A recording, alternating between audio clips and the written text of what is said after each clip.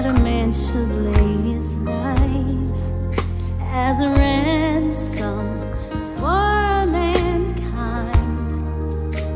You took all the sins away, and you gave us a brand new.